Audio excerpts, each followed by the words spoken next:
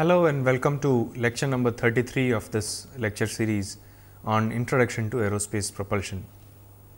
We have been over the last lecture discussing about cycle analysis, the ideal cycle analysis for gas turbine engines. So, we started our discussion in the last lecture on trying to derive an equation for thrust and other performance parameters of a jet engine like the fuel consumption, the specific fuel consumption, the thrust specific fuel consumption and the different efficiencies like the thermal efficiency, the propulsion efficiency and the overall efficiency. And uh, so, these are some of the performance parameters that we can define for evaluating the performance of air breathing engines.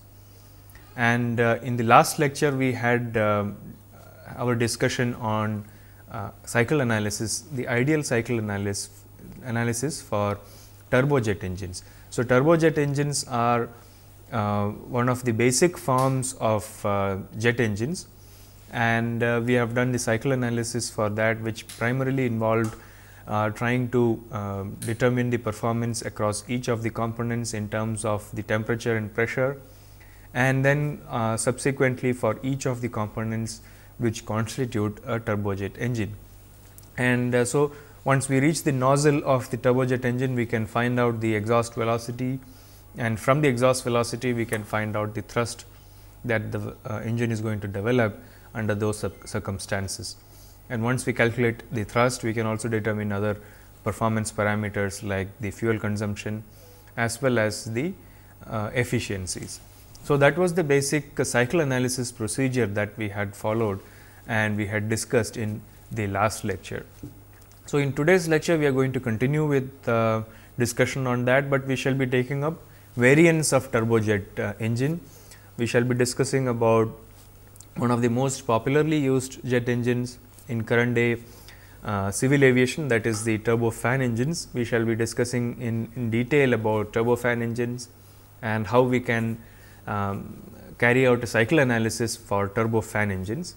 And there are some different variants of turbofan engines as well that uh, we shall be discussing about and uh, some of those analysis I shall probably be leaving it to you for carrying out an exercise on the cycle analysis of some of the variants of the turbofan engine. And then we shall also move on to discuss some of the other types of jet engines which are used like the turboprop engines and uh, the turbo shaft engines and also in very brief about the ramjet engines which we shall take up towards the end of this lecture. So, let us take a look at what we are going to uh, discuss in today's talk. So, we shall be discussing about ideal cycle again, we are not taking into account efficiencies of different components. We shall be discussing about the ideal cycles and we will begin with the turbofan engine and a turbofan engine which constitutes of different components, uh, which are some of most of which are similar to what is there in a turbojet engine, but there are there is an additional uh, component in turbofan engine which is basically the fan and there are different configurations of turbofan engines which we shall be discussing in detail. And depending upon the particular configuration that the turbofan engine is operating on, the cycle analysis needs to be uh, modified slightly depending upon what configuration it is. We shall then be discussing about two other popular engines which are in use the turboprop and the turbo shaft engines. Turboprop and turbo shaft engines are uh, also used primarily in of course, they are used in military as well as in civil aviation, uh, but many of the civil aircraft which probably you might have seen or flown uh, would be using the turboprop engines usually those engines are used in smaller aircraft which have uh, lesser seating capacity. Turbofan engines the high bypass turbofan engines are what are used in most of the large uh, class uh, jet engines. And aircraft like some of the larger aircraft which carry about 300 400 passengers or even more all of them use the turbofan engines. And turbo shaft engines are used in helicopters and uh, of course they have both civil as well as military applications and uh, then we shall also be discussing about ramjet engines which are a very simple form of a jet engine. In fact it is even simpler than a turbojet engine. But it is uh, not being used for any uh, civil application, it is primarily for missiles and probably for some of the futuristic um, aircraft applications that ramjets might probably be used a little later on, but currently it is primarily used in missiles. So, these are some of the topics that we shall be discussing in today's lecture and uh, so we will begin our discussion with discussion on the turbofan engines. Now, let us understand why we need a turbofan engine in the first place. Now, we have seen that in a, uh, one of the performance parameters that uh, that we can use to evaluate the performance of a jet engine is the propulsion efficiency. You already learned in uh, great detail about the propeller based engines and uh, we have also seen that the propeller based engines have a very high propulsion efficiency as compared to the pure jet based engines let us say the turbojets. So, if you compare the propulsion efficiency of a jet engine, a turbojet engine with that of a propeller based engine, the propulsion efficiency is much higher for a propeller based engine as compared to turbojet engines. So, if the propulsion efficiency is higher, this also contributes to the overall efficiency of the engine. So, this is one of the parameters uh, which we shall uh, make use of in trying to modify the jet engine, the basic jet engine so that we have a better overall efficiency as well. So, what we shall be doing is that if we can increase the propulsion efficiency of the jet engine in some way, then it means that we will also have a higher overall efficiency. So, in order to do that we need to increase the front stages of the compressor in terms of the diameter we have a larger diameter and uh, therefore, the mass flow rate associated with that fan will also be higher but it will exhaust at a velocity which is lower than that of uh, the core engine and therefore, the propulsion efficiency can be increased. So, turbofan engines are characterized by the presence of huge fans which are placed ahead of the compressor. So, if you have uh, had a chance to take a closer look at the aircraft engine which is used in most of the commercial civil uh, aircraft, you might have seen that the first component that you see is this huge fan and that is the main difference between a turbofan engine and a turbojet engine. And uh, so, this is something which you could see either if you are in an airport waiting for the plane or if you are boarding an aircraft then you probably will get a chance to see the engine in uh, a little bit detail. Or at least the next time you board an aircraft make sure you can uh, have a view of the engine. You will notice that there are these huge fans. And the basic reason that these fans are present is that firstly they of course give you a higher mass flow rate and we have seen that thrust is a direct function of mass flow rate. And the other reason is that it will also have an effective lower exhaust velocity and therefore, the propulsion efficiency can be higher, which means that turbofan engines in general can have higher uh, overall efficiency. But besides this turbofan engines also have a higher thermal efficiency which we shall see a little later. But the only issue is that because they have larger diameters the overall drag of the aircraft can be higher. But uh, this can be compensated by the fact that turbofan engines can generate larger thrust uh, because of the presence of the, the fan which, which um, generates a lot of mass flow rate through the engine which is high in fact higher than that of the core mass flow. So, if you take a look at the turbofan engine characteristics. So, uh, the first two points is what I was mentioning about that propulsion efficiency is one aspect which turbofan engines will um, have higher than uh, turbojet engines, because the effective exhaust velocity is lower and we can do that by increasing the fan diameter.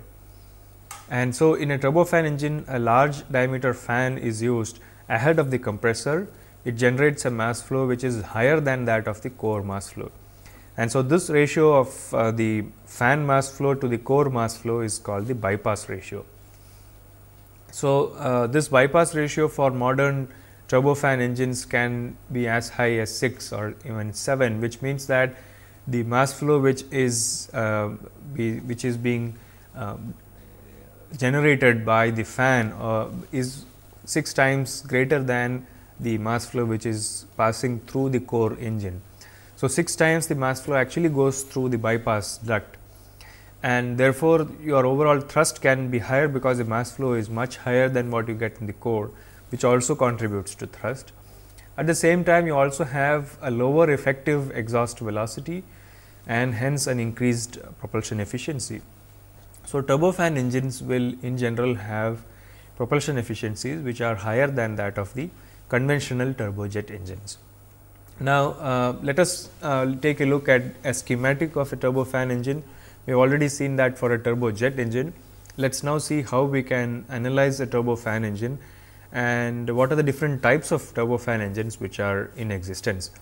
So, a schematic of a turbofan engine is shown here and what is shown here is a schematic of an unmixed turbofan engine. Unmixed turbofan engine means that there are two separate exhausts. There is one exhaust from the fan and the other exhaust is the core engine that is the primary nozzle. So, let, it, let me explain what are the different components of a turbofan engine. So, turbofan engine like the turbojet has a diffuser and immediately following the diffuser is a fan. And so, you can see that the fan diameter is much higher than that of the compressor. So, this is the compressor fan diameter is much higher than that of the compressor. And uh, then downstream of the compressor we have the combustion chamber which is where the primary heat addition takes place. Then uh, we have a turbine which could be in multiple stages, we could have different stages of turbines. Then after the turbine we have the primary nozzle. After the fan you might notice that there is a secondary nozzle. So, you could have exhaust uh, velocities from the secondary nozzle as well as from the primary nozzle both of them contribute to the thrust. And if we were to carry out a cycle analysis we have already seen we normally follow a certain convention for for station numbering. So, for the core engine it's it's uh, pretty much the same as what we had done for the turbo fan turbojet engine that we have stations A for the free stream, 1 for diffuser inlet, 2 for the compressor inlet, 3 for compressor outlet, 4 for the turbine inlet, 5 for turbine exit, 6 is the nozzle entry, 7 is nozzle exit. For the bypass duct, we shall denote these numbers with a, uh, a prime. So, 2 prime refers to the fan inlet, 2 prime refers 3 prime refers to the fan exhaust, which means 3 prime and 2 for the core stream are the same. And the secondary nozzle exhaust is 7 prime. So, these are different uh, components of a turbofan engine, which is of an unmixed configuration that is these two streams do not mix within the engine uh, walls.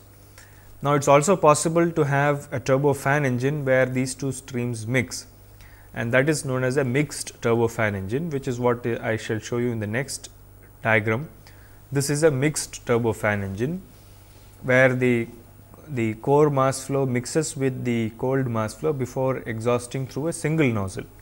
So, here there is only a single nozzle and therefore, this is very similar to that of a turbojet engine and uh, such engines usually have a, a, lower bypass ratio as compared to the high bypass which I had shown earlier.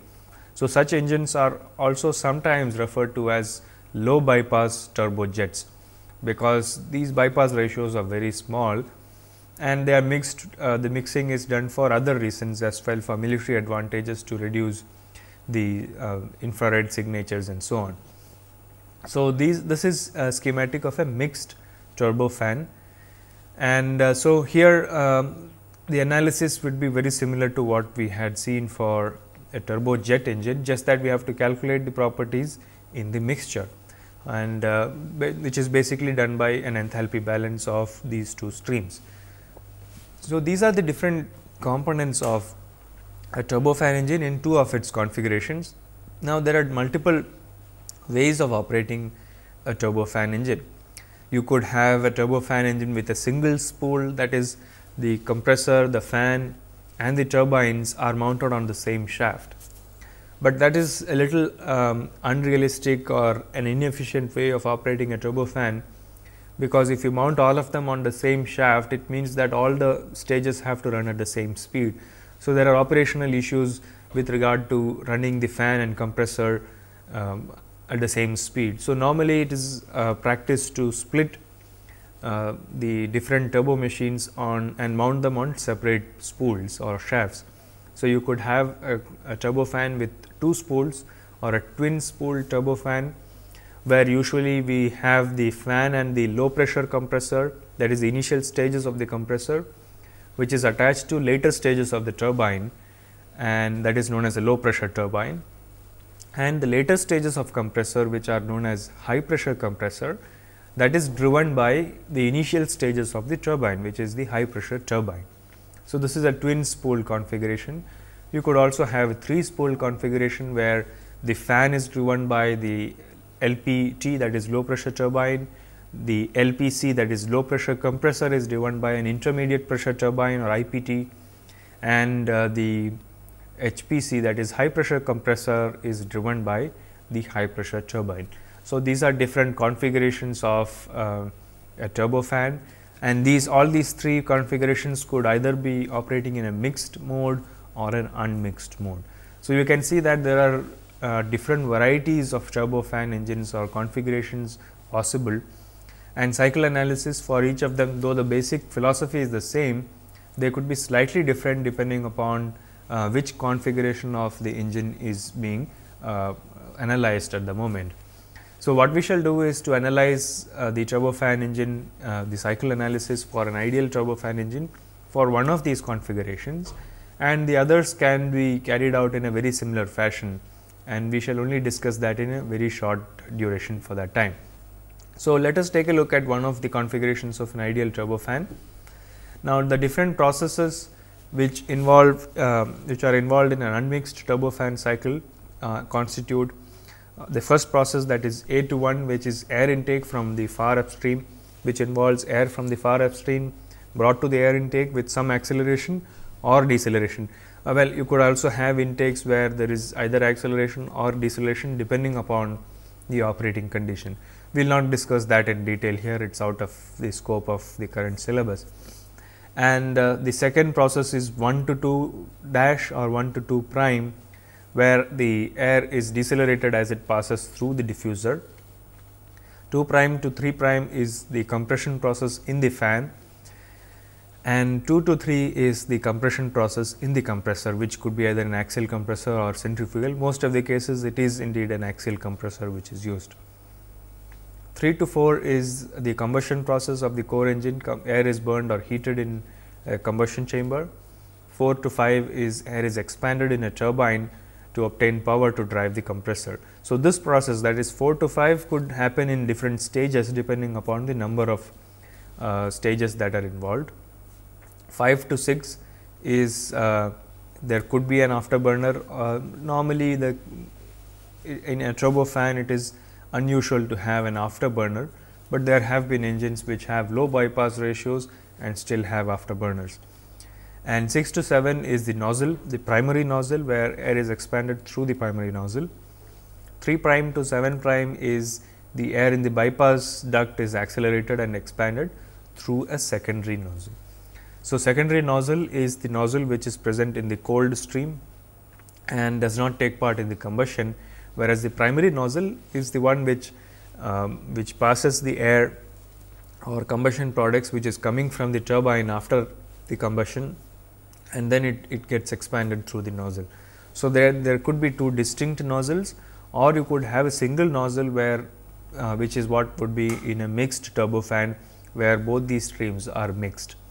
So, you can have turbofan engines which are operating in different modes and what we shall do is take up one of these for our cycle analysis. And let us say we take up one case where we have uh, the turbine uh, there are two stages of turbine, a twin spool turbofan where the fan is driven by uh, the one of the stages of the turbine and the compressor is driven by uh, the uh, another stage of a turbine. So, let us say the turbine consists of two stages, one stage drives the fan, other stage drives the compressor. We shall do a cycle analysis for this case and uh, the other cases we will discuss in little bit detail. So, depending upon what configuration the turbofan is uh, operating on, the cycle analysis can be slightly different depending upon what configuration it is. we will carry out an ideal cycle analysis for um, an unmixed twin spool turbofan engine. Then of course, there are also uh, mixed versions of the same engine.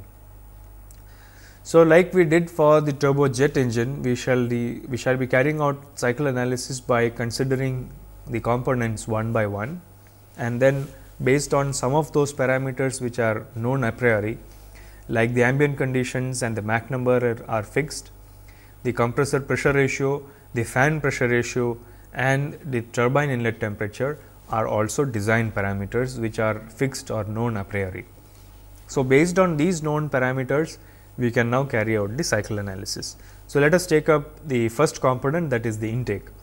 So, for an intake we should be knowing the ambient pressure, the temperature and the Mach number and therefore, P A which is the ambient pressure, static pressure, T A and the Mach number are fixed. Now, based on this the intake exit conditions which is T 0 2 prime is equal to T A into 1 plus gamma minus 1 by 2 m square. So, this is following the isentropic relations because the compression in the intake is assumed to be isentropic for an ideal cycle. P 0 2 prime is the stagnation pressure at the intake exit which is equal to P A into T 0 2 prime divided by T A raised to gamma by gamma minus 1 which is again uh, as a consequence of the isentropic nature of this process. The second process or the component which follows the intake is the fan and for the fan we know that the fan pressure ratio is, is a design parameter which is known and therefore, pi f which is the fan pressure ratio is equal to P 03 prime divided by P 02 prime, where P 03 is the fan exit stagnation pressure. So, therefore, P 03 prime that is fan exit stagnation pressure is equal to pi f fan pressure ratio into P 02 prime. P 02 prime has already been calculated. The fan exit stagnation temperature is T 03 prime which is equal to T 02 prime into pi f raised to gamma minus 1 by gamma, where pi f is as, as we know is the fan pressure ratio. So, these are um, the first two components of a turbofan engine the intake and the fan. So, both these processes are isentropic for an ideal cycle and in fact, the next process which we shall see that is the compressor will also be an isentropic compression process. And so, for the compressor the cycle analysis which involves isentropic relation is similar to what we did for the uh, turbojet. So, for the compressor the known parameter is the compressor pressure ratio which is fixed now, the compressor inlet pressure is known, stagnation pressure is known because the fan exit stagnation pressure should be equal to the compressor inlet stagnation pressure. And so, P 03 prime should be equal to P 02 which is the inlet stagnation pressure of the compressor. Similarly, the stagnation temperatures. So, based on that since we know the compressor pressure ratio, we can find out the compressor exit conditions, the temperature and pressure and uh, just the same way as we did for the uh, turbojet engine. So, for the compressor we have P 03 which is uh, the compressor exit pressure stagnation pressure is equal to pi c into P 02 where P 02 should be equal to P 03 prime and P 03 prime is the fan exit stagnation pressure. Similarly, T 03 is equal to T 02 into pi c raised to gamma minus 1 by gamma here T 02 that is the compressor in inlet stagnation temperature should be equal to fan exit stagnation temperature that is T 03 prime. So, these are the compressor exit conditions, the stagnation temperature and the pressure. And now, we move on to the combustion chamber. Now, combustion chamber analysis uh, is something you are already familiar with, we did that in the turbojet what we do is to carry out a, an energy balance across the combustion chamber. So, at the inlet we have conditions of pressure and temperature coming from the compressor, then fuel is added in the combustion chamber and the, we find out the exit conditions. So, H 04 is the stagnation enthalpy at the combustion chamber exit. This should be equal to stagnation enthalpy at the inlet which is H 03 plus the fuel flow rate that is F into Q r which is the heat of reaction of that particular fuel. So, from this by uh, simplification because we are assuming air to be ideal gas here with constant specific heats. So, H 04 should be equal to C p into T 04 which is equal to C p T 03 plus F into Q r. So, from this we can find out the fuel to air ratio. So, that will on simplification we get the fuel to air ratio as T 04 by T 03 minus 1 divided by Q r divided by C p into T 03 minus T 04 by T 03. So, from this we can find out the fuel to air ratio. So, the fuel to air ratio we can find because we have uh, the conditions at the inlet and the conditions at the outlet of the combustion chamber because the turbine inlet temperature that is T 04 as I already mentioned is a design parameter and so that should be known a priori. So, once that is fixed and inlet conditions are obtained from the compressor analysis, we get the inlet stagnation pressure and temperature. So, we can find the exit conditions and in an ideal cycle we assume that there is no pressure loss occurring in the combustion chamber. Therefore, P 04 should be equal to P 03. So, now we have the uh, properties up to the combustion chamber inlet or uh, com combustion chamber outlet or the turbine inlet. Now, in the turbine the analysis is now going to be slightly different from what we did for the turbojet, because here we have a twin spool engine, where there are two stages of turbines, one driving the compressor and the other driving the uh, fan. Now, the first uh, stages of the turbine, first few stages or at least it could be one or two stages is known as the high pressure turbine because that is the turbine stage which is operating at the highest temperature and that is therefore known as the high pressure turbine. High pressure turbine is going to drive the compressor because compressor requires more work than a fan and the later stages of the turbine which is known as the low pressure turbine or LPT will be driving the fan because fan requires lesser work than uh, the compressor as a whole. So, we have to now split the compressor uh, well the turbine stages into two and so the uh, high pressure turbine drives the compressor, low pressure turbine drives the fan. So, if you have to do that now depending upon uh, the type of uh, configuration we are going to use, we have already assumed that the engine is going to have two spools. Now, if the engine has two spools, the fan will be driven by the low pressure turbine and the compressor is driven by the high pressure turbine. So, uh, from how do we calculate uh, the properties across this? The work done by LPT that is low pressure turbine should be equal to the fan work and work done by the high pressure turbine which is HPT should be equal to the compressor work. So, we are going to carry out a work balance between the fan and the low pressure turbine and then the compressor and uh, the uh, high pressure turbine. Now, since the initial stages are the high pressure turbine and we know the turbine inlet temperature which is the high pressure turbine inlet temperature, we will use that for carrying out the work balance. Now, so for the high pressure turbine which is what is the first component after the combustion chamber, the work done by the high pressure turbine should be equal to uh, the work required for the compressor. So, if we equate the two, we have m dot t which is mass flow rate through the turbine, which is the mass flow rate coming in from the com compressor plus the fuel flow rate multiplied by C p into T 04 minus T 05 prime.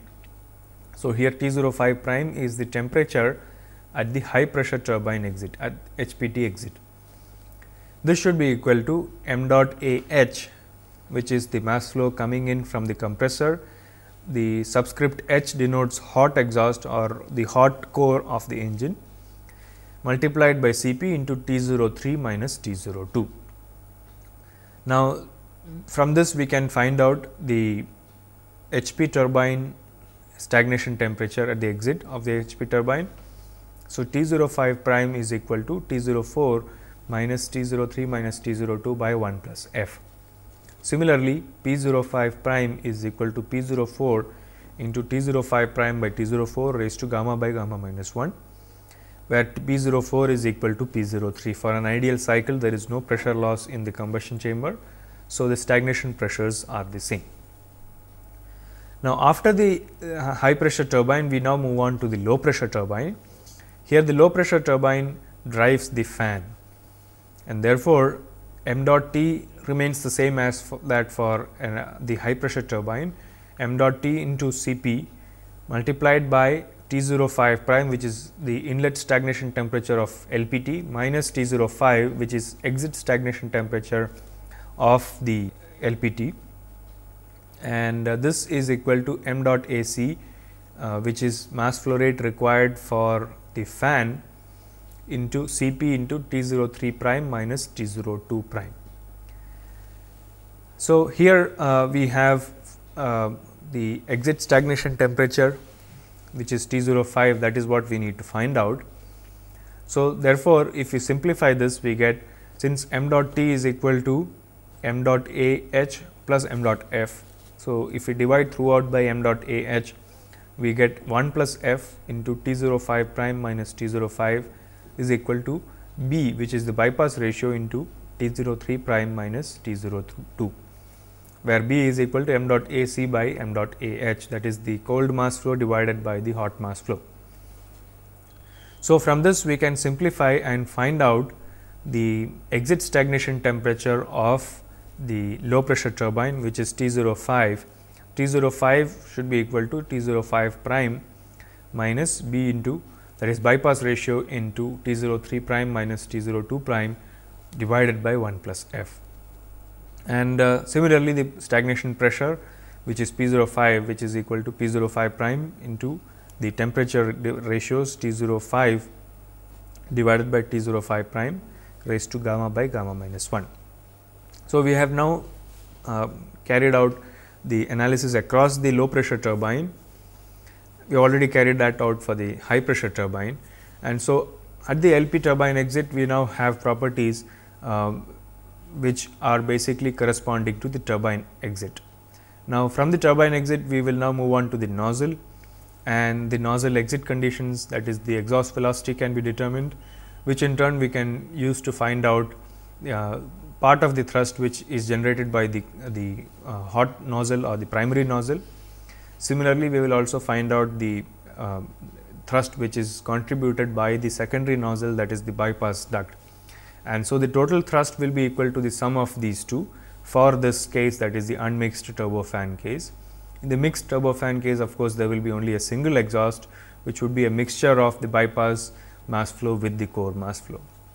So, moving on to the primary nozzle, the uh, analysis is identical to what we did for the turbojet and uh, so we have the uh, stagnation temperature and pressure at the turbine exit and in an ideal cycle there are no losses occurring in that duct subsequently. Therefore, these temperatures and pressures will be the same as that of the nozzle entry. So, at the nozzle entry if we do not have any afterburner we have T 06 is equal to T 05 and P 06 is equal to P 05. So, the nozzle exit kinetic energy will be equal to U e which is the same as we did for the uh, turbojet is equal to square root of 2 Cp C p T 06 into 1 minus P a by P 0 06 raised to gamma minus 1 by gamma. So, this is the exhaust velocity from the primary nozzle. Now, for the secondary nozzle we have uh, U E f where f corresponds to that of fan. We can derive an equation for the exhaust velocity from the fan from the uh, secondary nozzle in the same way as we did for the primary nozzle. So, u e f is equal to um, square root of 2 C p T 03 prime which is the nozzle inlet stagnation temperature into 1 minus P a by P 03 prime raised to gamma minus 1 by gamma. So, now we have the exhaust velocities from both the nozzles primary nozzle as well as the secondary nozzle.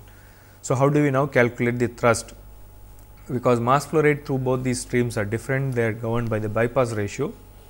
So, now that we know the bypass ratio, we can calculate the thrust which is the total thrust which will have two components, one is from the core duct and the other is from the bypass duct.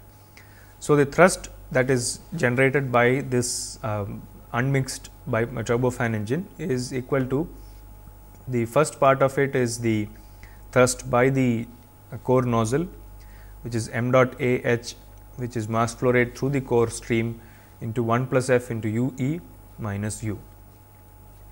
And the second term that is the thrust generated by the bypass duct will be equal to uh, the bypass ratio into m dot A h which is basically equal to m dot A c into u e f minus u which is equal to the velocity differences through the bypass uh, duct. Of course, there will also be a pressure thrust term if it is to be assumed negligible then this is the total thrust which is developed by this um, turbofan engine the ideal turbofan where the two streams are unmixed. Now, similarly we can calculate the specific fuel consumption or the thrust specific fuel consumption and the efficiencies in the same way as we did for the turbojet case and once we calculate thrust the other parameters are uh, straightforward. Now, if the turbofan consists of a mixed configuration that is the two nozzles mix and there is only a single exhaust nozzle. If it is a mixed turbofan engine then uh, there is only one nozzle which generates the thrust. So, in this case the difference in the ana cycle analysis comes only at the nozzle entry. How do you find the temperature at the nozzle entry? which is not equal to the turbine exit temperature, because there is a bypass duct uh, mass flow which mixes with the turbine exhaust mass flow. So, what we need to do there is to uh, carry out an energy balance between the two streams, uh, which is the bypass stream and the turbine exhaust stream, both of them mix. And then you have a final mixture enthalpy. So, final mixture enthalpy uh, that is m dot into H 06 should be equal to m dot A c into the um, temperature and uh, that there is enthalpy of the cold stream plus the mass flow rate of the hot stream uh, multiplied by the enthalpy of the turbine exhaust. So, from that you can find out the nozzle entry stagnation temperature and therefore, thrust because the nozzle exhaust velocity is a function of the temperature and the pressure ratios. So, if the configuration is a mixed turbofan then we can find out these parameters by carrying out this uh, energy balance. Now, similarly, uh, there could be other configurations of uh, turbofan engines which are possible like uh, you could have different number of spools. We have now carried out the analysis for a two spool configuration. You could have uh, three spool configuration uh, or you could have the same configuration with mixed or unmixed exhaust and so on. So, the analysis the, the uh, process procedure for analysis is very much identical to what we have already discussed. And so, I will leave it as an exercise for you to carry out an ideal cycle analysis for a turbofan with 3 spools that is 3 spool configuration with the low pressure turbine driving the fan, an intermediate pressure turbine driving the LPC and the high pressure turbine driving the HPC and you could have two types of configurations either mixed or unmixed configurations. So, I leave it as an exercise for you to carry out a cycle analysis for these two cases. Uh, there are two cases here that is it is a 3 spool engine and one configuration is a mixed turbofan, the other is an unmixed turbofan. So, based on the discussion we had, uh, you should be able to now carry out a cycle analysis for these two configurations of a turbofan engine. So, uh, we have now discussed uh, cycle analysis for um, turbofan engines and as I mentioned there are different types of turbofan engines that you could come up with and uh, cycle analysis will be slightly different depending upon what type of configuration it is. Now, the next type of engine that we shall be discussing there are two set types of engines together we shall discuss. These are the turboprop engines and the turbo shaft engines. Now, these are two types of engines which are slightly different from the turbojet and turbofan in the sense that these engines also develop a certain shaft power to either drive a propeller in the case of a turboprop or you could be driving um, a main rotor blade as in the case of a turbo shaft engine. But the difference between a turboprop and a turbo shaft is that in a turboprop there is also thrust generated by the nozzle exhaust which is absent in the case of a turbo shaft. Turbo shaft ne necessarily generates only shaft power to drive uh, the main rotor blade. There is uh, hardly any nozzle exhaust thrust which is developed by the turbo shaft engine. So, in a turboprop or turbo shaft engine, in a turbo shaft uh, prop engine generates a substantial shaft power in addition to the nozzle thrust. And uh, turbo shaft engines on the other hand generates only shaft power. And turbo shaft as I mentioned in the beginning they are used in helicopters. And the shaft power is used to drive the main rotor blade.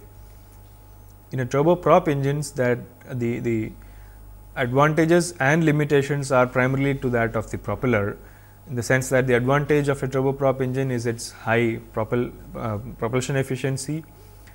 Uh, the limitation is that the presence of the propeller leads to limited uh, speeds that the propeller uh, based engine can operate and so the limitations as well as advantages are both on account of primarily the propeller. And so, both these uh, types of engines turboprops as well as turbo shaft engines um, are primarily limited to relatively lower speeds, uh, because at higher speeds the compressibility effects come into picture and uh, that could lead to increase in losses uh, because of uh, compressibility effects and shocks which could occur at uh, the tip of the propeller or the uh, blades and so their applications are li limited to relatively lower speed, but they are still not very low speed, but relatively lower than uh, a turbofan or a turbojet engine. Now, if you let us take a look at a schematic of a typical uh, turboprop engine. Now, uh, so what we have here is a turboprop a schematic of that. So, some of the components you are already familiar with which were discussed for the turbofan and turbojet engines we have a compressor, then a combustion chamber and turbines. So, I have shown two types of turbines or stages of turbines. One is the compressor turbine which drives the compressor and we also have a power turbine which is meant to drive the propeller. So, this is the propeller here and this is driven by uh, the power turbine in a turboprop. And since the propeller speeds are limited, the rotational speeds are limited, uh, the, the invariably there is a gearbox which reduces the speed of the shaft from the turbine. So, that the propeller can run at relatively lower speed. So, a gearbox is also a constituent of this um, arrangement and you may also have a propeller pitch control mechanism for changing the pitch which uh, you, you had already seen in some of the earlier lectures. And there is also a nozzle at the exhaust uh, that is uh, generating some amount of thrust. So, the power turbine exhausts through a nozzle which also generates a certain amount of thrust. So, these are the different components of a turboprop engine and uh, it is very similar for a turbo shaft engine also. Instead of a propeller we have the main rotor blade and uh, the nozzle component of the thrust is, is, is very limited is negligible in a turbo shaft engine other components are more or less the same. Now, um, in both these engines turboprops as well as turbo shaft engines they usually have a free turbine or a power turbine which is used to drive either the uh, propeller in the case of turboprops or the main rotor blade in the case of turbo shafts. So, uh, the speeds at which the propeller can rotate is basically limited by as I mentioned compressibility effects and stress limitations and uh, so they have to have a speed reducer so that the speed at which propeller rotates can be limited. And uh, so, in the case of turboprop I mentioned there are two components of thrust the thrust because of the propeller itself and uh, the thrust on account of uh, the nozzle exhaust. And in the case of turbo shaft it is just the primary the uh, thrust or the entire power of the engine is used for driving the main rotor blade. So, uh, the cycle analysis of both these engines are in most of the components being identical to that of uh, the turbojets or the turbofan cycle analysis remains more or less the same except for the free turbine or the power turbine which is used for driving the propeller or the uh, rotor blade. So, that is the only component where there could be a slight difference between the cycle analysis. So, cycle analysis for uh, the turbo shaft is very identical to what we had discussed. Uh, only thing is here the power output is the shaft power and there is no thrust generated by the nozzle. In turboprops thrust comprises of two components the propeller thrust and the nozzle thrust. The, therefore, the total thrust will be equal to sum of the nozzle and the propeller thrust. So, if you look at the power turbine I mentioned that is the major difference between a turboprop or a turbo shaft and the other forms of engines. So, this is the power turbine that is shown here. So, uh, 5 is the main turbine or the compressor turbine exit, exit 6 is the uh, power turbine and 7 is the nozzle exit. So, if you look at this process on an HS diagram, it is an expansion process. So, an ideal cycle the expansion process is isentropic. So, stagnation temperature at uh, 5 is T 05 and pressure is P 05. So, it expands all the way to P 06 in the power turbine and then rest of the expansion takes place in the nozzle. So, 06 to 7 which is the ambient pressure is uh, the nozzle expansion. So, let us say this total enthalpy drop across the power turbine and the nozzle together is delta H. A fraction of that enthalpy drop occurs in the power turbine which is let us say alpha. So, alpha times delta H is the enthalpy drop which occurs in the power turbine so, 1 minus alpha into delta H is the power uh, is the enthalpy drop in which takes place in the nozzle. So, delta H is basically the enthalpy drop in the both the power turbine as as well as the exhaust nozzle put together. Fraction of that delta H which is alpha would be used by the turbine and remainder is used by the nozzle. So, the propeller thrust power which primarily comes from the power turbine let us say is the thrust power thrust by the propeller is um, tau to subscript p r which is the propeller. So, thrust power is this multiplied by u. So, thrust power is alpha delta h which is fraction of the total delta h which is occurring across the turbine power turbine plus the nozzle multiplied by the mass flow rate. So, propeller thrust will be equal to alpha delta h into m dot divided by u and uh, so the next component of that is the nozzle thrust. So, exhaust nozzle thrust is tau n. So, tau n is mass flow rate times the velocity differences. So, here velocity difference you can find by the same way as we did for the turbojet and turbofans which is square root of 2 into the enthalpy drop multiplied by the fraction which is 1 minus alpha. So, u e is equal to square root of 2 into 1 minus alpha into delta H. So, 1 minus alpha into delta H is the fraction of the enthalpy drop which occurs in the nozzle. So, therefore, the total thrust is equal to thrust generated by the propeller plus the thrust generated by the nozzle which is equal to alpha delta h into m dot divided by u plus m dot into square root of 2 into 1 minus alpha delta h minus u. So, here uh, I have not described the step by step cycle analysis because it is identical to what we have done for turbojets and turbofans. And all you have to do is to find out the temperature at the power turbine inlet and uh, therefore, across the power turbine you could determine the um, enthalpy drop and which in turn gives you the propeller thrust. And once you know that the uh, power turbine exhaust conditions are known, you can also find out the nozzle exhaust conditions and therefore, the nozzle thrust can also be determined. So, the total thrust will be equal to sum of these two uh, thrust components part of which is coming from the turbine, uh, part of it is coming from the propeller and rest of the thrust generation is taking place across the nozzle. And so, these uh, delta H that we are talking about the total enthalpy drop should be coming from the cycle analysis of the preceding components that is uh, starting from the compressor, the combustion chamber and the compressor turbine. So, from there we can determine the enthalpy drop that will be required for these two components together and that in turn gives us the total thrust which is developed by um, the uh, turbojet uh, turboprop engines. And uh, obviously, uh, once you calculate the uh, thrust we can also determine the fuel consumption and the efficiencies. We already discussed the efficiency definition for turboprops, wherein we also have the shaft power which needs to be taken into account while calculating the efficiencies. So, this is the general procedure for carrying out the uh, cycle analysis for the turboprops. It is identical for a turbo shaft as well, just that in a turbo shaft you do not need to really calculate the nozzle thrust because there is hardly any nozzle thrust developed in a uh, turbo shaft engine. Now, uh, the last cycle analysis which we shall discuss is that for um, a cycle which is a simplest form of an air breathing engine which is a ramjet engine.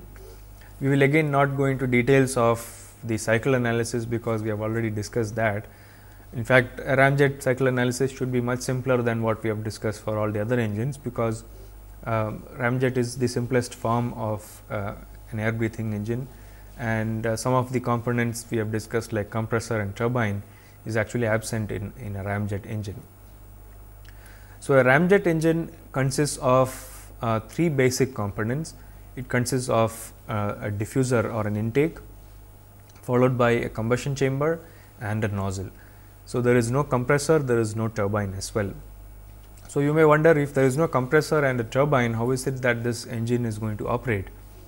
So, in a ramjet engine, the basic idea is that if the engine itself is flying at very high speeds, then the compression across the intake itself leads to substantial increase in the stagnation pressure and temperature. To the extent that you would not need uh, to have a compressor anymore, because the the intake or the diffuser itself is compressing the flow to such an extent that the pressures and temperatures are high enough that you can have uh, combustion taking place at that kind of temperatures and pressures. So, once you do not have a compressor, you no longer need a turbine to drive the compressor. So, once the compressor is not required, uh, you would not need a turbine as well. So, exhaust of the intake goes into the combustion chamber and from the combustion chamber the combustion products are expanded in nozzle to generate thrust. Now, the only drawback that is there for a ramjet is that this can work only if the ramjet itself is operating at a certain speed. That is ramjet will start generating uh, pressure ratios only if the ramjet is operating at a certain speed, which means that ramjet engines cannot really generate any static thrust. That is if a ramjet is stationary, it is not going to start on its own ramjet has to be taken to a certain reasonably high Mach numbers or speeds before which ramjet engines can start developing or generating thrust. So, once the ramjet reaches a certain uh, power uh, or certain Mach number, then the compression in the intake is high enough that you can have a, a stable combustion in the combustion chamber and so the ramjet can start operating. So, let us take a look at some of the salient features of a ramjet.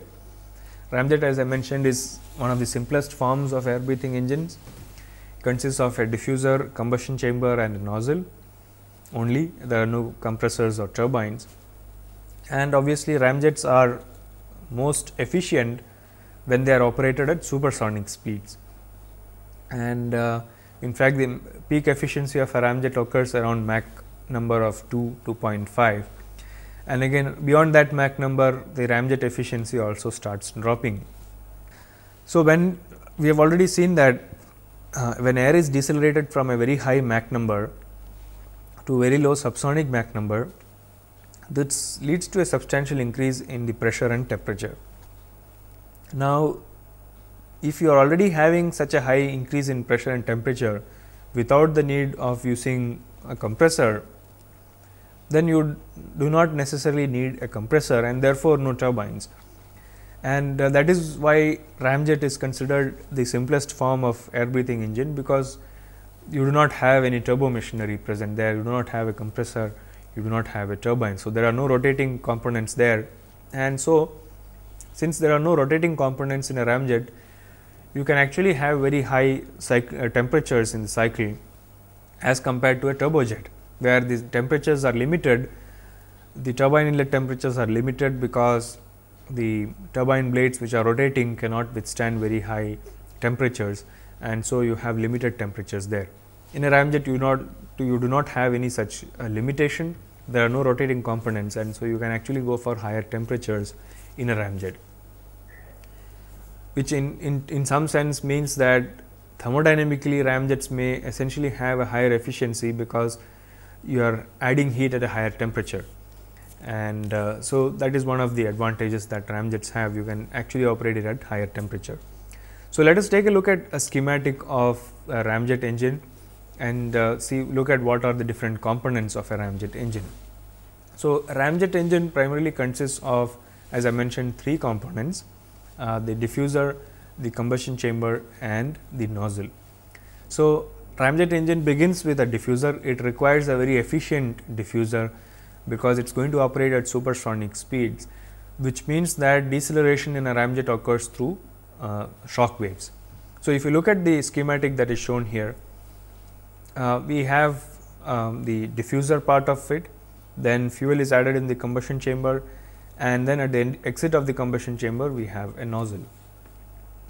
Now, I have indicated that diffusion or diffuser consists of or the compression process consists of two distinct processes the supersonic compression and the subsonic compression.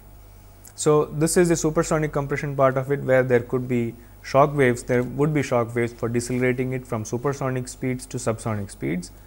And at the end of the supersonic compression, we have a normal shock which takes it to subsonic speeds and the subsonic flow enters the combustion chamber, fuel is injected here in the combustion chamber and there are flame holders for ensuring that there is a stable flame uh, in the combustion chamber. And the combustion products are expanded in the nozzle. So, these are the different um, components or that constitute uh, an, a ramjet. And uh, so uh, if you look at the TS diagram of the same it is the basic Brayton cycle um, which we have seen process A to 2 is the isentropic compression in the intake 2 to 4 is the com combustion process which is at constant pressure 4 to 7 is the isentropic expansion through the nozzle. So, this is the basic Brayton cycle uh, that is uh, shown there. Ideal cycle of the ramjet obviously is uh, a simpler uh, version of what we have seen for turbojets and turbofans and since there are no compressors and turbines the analysis is a lot simpler.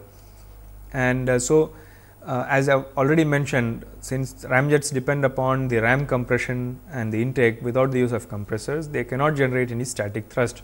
Ramjets have to be taken to a reasonably high Mach number before which ramjets begin to um, generate uh, thrust. And so, they cannot really start from 0 Mach number and start operating. They have to be flown to a certain Mach number before which ramjets begin to operate.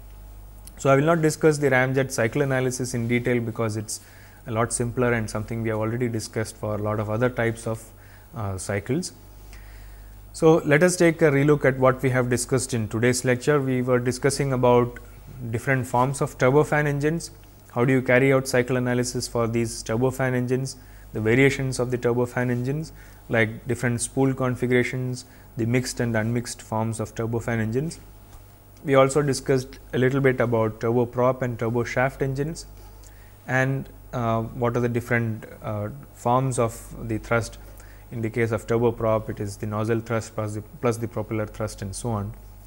And towards the end, we also had a very quick discussion on ramjet engines and uh, what makes ramjet engines different from other forms of engines. Now, so this completes the cycle analysis discussion which we have had over the last uh, two lectures. And in the next lecture, what we shall do is to uh, try and solve a few problems pertaining to ideal cycles of air breathing engines. We will try and solve problems from turbofans, turbo uh, uh, jets and turboprop engines and this we shall take up during our uh, next lecture.